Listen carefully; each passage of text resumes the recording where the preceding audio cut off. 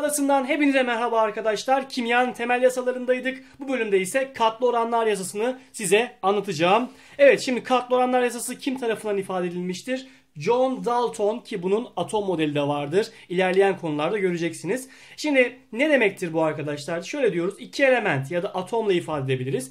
Birden fazla bileşik ne yapabilir arkadaşlar? Oluşturabilir. Yani iki elementten sadece bir tür bileşik oluşmayabilir. Birden fazla türde e, bileşik gelebilir arkadaşlar. Şimdi biz buna ne yapıyoruz? Bu elementlerden birinin kütlesini sabit tutacağız diğer elementler arasındaki oranı ifade edeceğiz. Nerede? Katlı oranlar yasasında. Şimdi örnekleri çözelim beraber daha iyi anlayacağız arkadaşlar. Şimdi bakalım demir 2 e, sülfür ve demir 3 sülfür bileşikler arasındaki demiş arkadaşlar. A şıkkına bakalım öncelikle. Demir elementinin kütlesi sabit tutulduğunda birinci bileşikteki kükürt bileşik element e, kütlesinin ikinci bileşikteki e, kükürt kütlesinin oranı kaçtır diye soruyor arkadaşlar. Şimdi bakın bize demirin kütlesini sabit tutmamızı söylemişler. Şimdi öncelikle ben tablo ile yapacağım. Ee, şöyle bir tablo çizeriz hemen pratik bir şekilde. Evet birinci bileşik, ikinci bileşik gibi düşüneceğiz. Hangi elementler vardı? Demir ve sülfür var, kükürt var elimizde. Evet şimdi bakalım arkadaşlar. Birinci bileşiğimiz 1'e 1 görüyorsunuz. Bir tane demir varken bir tane kükürt var. O zaman 1'e 1 yazıyorum. İkinci bileşikte ise 2 tane demir varken buna karşılık 3 tane kükürt atomu vardır. Şimdi bakalım biz hangisini istiyoruz? Kükürtlerin oranını istiyorsak arkadaşlar istemediğimizi eşitlememiz lazım. Şimdi bakalım e, birinci bileşikte demir 1 iken ikinci bileşikte demirimiz 2. O zaman ne yapalım? Aynı payda eşitlermiş gibi şu üstteki e, kısmı 2 ile çarpalım. Alttaki kısmı ise 1 ile çarpalım. O zaman yeni bir tablomuz oluşur artık arkadaşlar. Yeni tablomuz şöyle bakarsak birinci bileşik, ikinci bileşik, e, demir ve kükürt elementlerimiz vardı. 2 ile genişletirsem 2 kere 1 2, 2 kere 1 2 oluyor. Burasını 1 ile çarptığımız için herhangi bir değişiklik olmadı. 2'ye 3. Şimdi bakın ne olmuş oldu? Demirlerimiz her ikisinde 2'ye 2 oldu. O zaman bizim kükürtlerimizin oranı ne olmuş oluyor arkadaşlar? 2 bölü 3 olmuş oluyor. Bu kadar arkadaşlar. Neyi istiyorsak istemediğimizi sabitliyoruz. Şimdi bu sefer bakalım arkadaşlar diyor ki aynı bileşikler için kükürt sabit tutulduğunda demirlerin oranını sormuş. Bu sefer tablo ile yapmıştım. Daha pratik yapacağım arkadaşlar. İsterseniz tablo ile yaparsınız. isterseniz şimdi yapacağım e, pratik yöntemle yaparsınız. Şimdi bileşikleri yazıyorum ben. Tekrardan yazdım. Şimdi bize ne sormuş? Demirleri sormuş. O zaman ne yapmalıyız? Kükürtleri işlememiz lazım. Şimdi burada bir tane kükürt var. Burada 3 tane kükürt var. O zaman direkt arkadaşlar bu bileşiği 3 ile genişletiriz hemen. O zaman ne olur arkadaşlar bakın. Bu bileşiğimiz artık F3 S3 olmuş oldu. Bu bileşiğimizde herhangi bir değişiklik olmadı. F2 S3. Yani bakın arkadaşlar bunu genişletiyorum. Aynı bileşik aslında. Sadeleştirirsem tekrardan buraya gelir. Amacımız ne? İstemediklerimizi yani kükürtleri ne yapıyoruz? Biz burada sabitlemeye çalışıyoruz. Şimdi bakın ne oldu? Kükürtler sabitken oranımız ne? Birinci bileşikte 3 tane demir varken 3 atomumuz varken ikinci bileşikteki atom sayımızda demir sayımızda 2 olmuş oluyor. O zaman bakın ne oldu? F1 bölü F2'yi bulmuş oldum. Şimdi bakın bir şey daha dikkat etmenizi istiyorum. Biz kükürtlerin oranını 2 bölü 3 bulmuştuk. Demirlerin oranı ise 3 bölü 2. Zaten bakın hep öyledir. Birini bulursanız diğeri onun tam tersidir. Birini bulmanız diğerini bulmanızı hemen sağlar. Diğerini ters çevirerek bunu bulabilirsiniz. Şimdi bakalım bir başka sorularımız var. Yandaki bileşiklerle ilgili olarak demiş A elementlerinin kütlesi aynı kaldığında bakın A sabit kalacakmış. Birinci bileşikteki B'nin ikinci bileşikteki B'ye kütlesinin oranı 3 bölü 8 diyor. Şimdi hemen yazıyorum ben bileşiklerimizi. A2BX bileşiğimiz. İkinci bileşiğimiz ise A3B4. Şimdi bana ne söylemişti arkadaşlar? A'yı sabit tutun demişti. Şimdi A'yı sabit tutmamız için bu katsayıları eşitlememiz lazım. Bakın 2 var 3 var. O zaman üstteki bileşiği 3 ile çarparım. Alttaki bileşiği de 2 ile çarparım. O zaman yeni ne oluyor arkadaşlar? Bakın A6 B3X. Burası ne oluyor bakalım? A6 B8. Şimdi A'lar sabit olduğu vakit oranımız arkadaşlar birinci bileşikteki e, oranımız 3x B için. İkinci bileşikteki e, kat sayımız ise 8. Bu da zaten bize soruda verilmiş. 3 bölü 8 olarak bize arkadaşlar burada neyi sormuş? X'i sormuş görüyorsunuz ki. E 8'ler buradan gider. 3x eşittir. 3 ise x de buradan ne geliyor? 1 geliyor arkadaşlar. Bu şekilde bu kadar kolay bir konu aslında bu. Zorlanmayacaksınız diye düşünüyorum arkadaşlar. Şimdi bununla alakalı gene farklı soru kökleri var ama değişmeyecek. Gene ben bir tane soru yazdım bununla alakalı. X ile Y elementlerinden oluşan iki farklı bileşik var arkadaşlar. Şimdi diyor ki birinci bileşikte 6 gram X var diyor. Buna karşılık 8 gram Y varmış birinci bileşik için. Bu birinci bileşiğimiz. İkinci bileşiğimiz varmış. İkinci bileşikte diyor ki arkadaşlar 6 gram gene X var bunda. Ve bununla alakalı e, o bileşikte 12 gram Y'miz varmış. Diyor ki arkadaşlar birinci bileşiğimizin formülü XY ise acaba ikinci bileşiğimizin formülü nedir? X, A, Y, B diyelim. Şimdi bakın burada e, sabit olan kütlemiz var mı? Var. 6'ya 6. Çok güzel arkadaşlar. O zaman yapacağımız şey şudur arkadaşlar. Yani bakın şimdi burada aslında ne var? 1'e karşılık 1 var görüyor musunuz? Bu normalde 1'e karşılık 1 kat sayısıdır. O zaman yapacağımız şey şudur arkadaşlar. Bakın x'ler sabit tuttuğumuz zaman y'ler arasında kütle birleşme oranı direkt y'nin bu 1'e karşılık b'ye karşı oranıdır arkadaşlar. Yani aslında biz ne yapıyoruz? Bu a'yı 1'miş gibi düşünerek b'yi bulmaya çalışacağım. Tamam Çünkü neden 1'miş gibi düşünüyorum? İkisinde 6'şar gram verdiği için. O zaman arkadaşlar yapacağım şey şudur. Y'ler arasındaki oran 8 bölü 12 kütlece birleşme oranı. Birinci bileşikte bir atom varken ikinci bileşikte B kadar atomumuz var. O zaman içler dışlar çarpımı yaparız. Önce sadeleştirme yapalım isterseniz.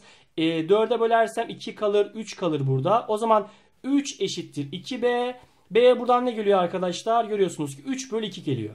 O zaman bizim bileşiğimiz neydi? X, A, Y, B demiştik değil mi? A'ya ben 1 demiştim. Y de buna karşılık ne oluyor? 3 bölü 2 oluyor. Ama siz böyle bir bileşik gördünüz mü hiç? Göremezsiniz. Yani bunlar hep tam sayı olmak zorunda. Burada bir rasyonel ifade var. E ne yapacağız o zaman arkadaşlar? Şu ifadeyi genişletmem lazım 2 ile. O zaman e, x2 y3 olacaktır. Demek ki bileşiğimiz budur arkadaşlar. Ha, ben bunu arkadaşlar e, sabit oranlar yasasından da yapabilirdim ama konumuz şu anda katlı oranlar yasası olduğu için böyle de hemen yapabiliyorum. İki türlü.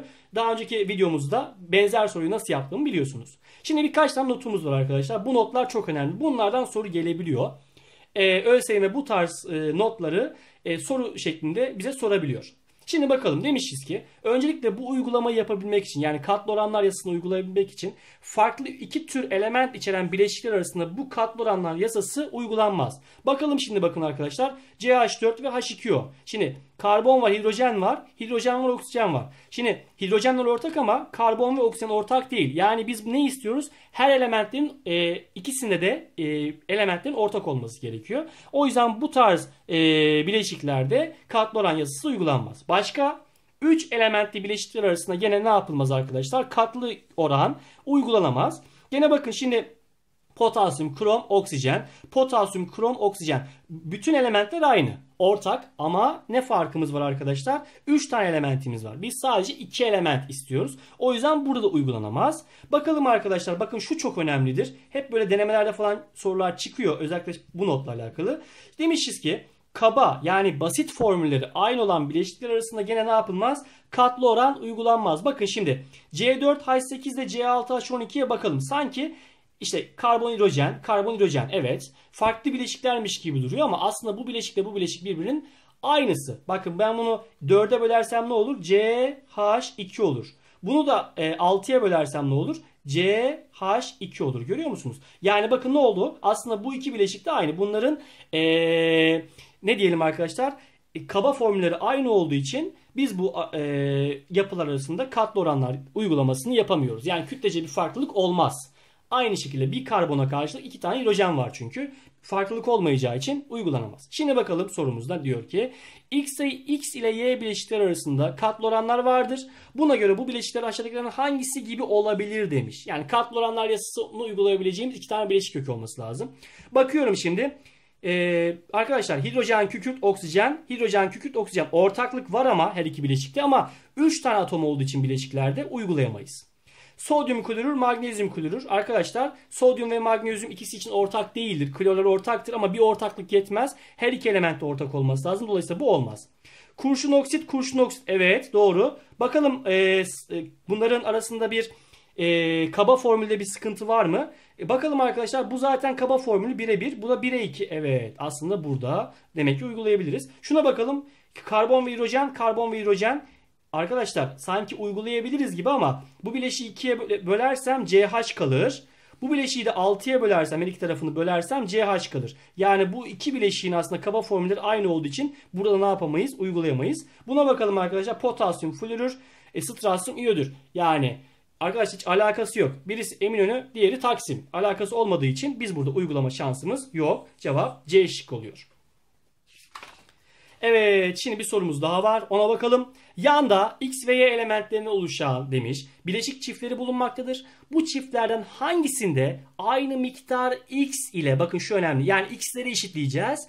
Bileşen birinci bileşteki y miktarının ikinci bileşteki y miktarının oranı 4 bölü 3'tür. Şimdi arkadaşlar x'leri eşitleyeceğim. Birinci bileşik kökümüz ne? x2 y3'e x3, y4. Ne yapalım x'leri eşitlememiz için? 2'ye 3. O zaman bu bileşiği 3 ile genişletelim. Bu bileşiği de 2 ile genişletelim. O zaman ne olur arkadaşlar? x6, y9, x6, y8. Oranımız ne oldu? 9 bölü 8. Ben ne arıyordum? 4 bölü 3. O zaman bu olmaz. Diğerine bakalım arkadaşlar.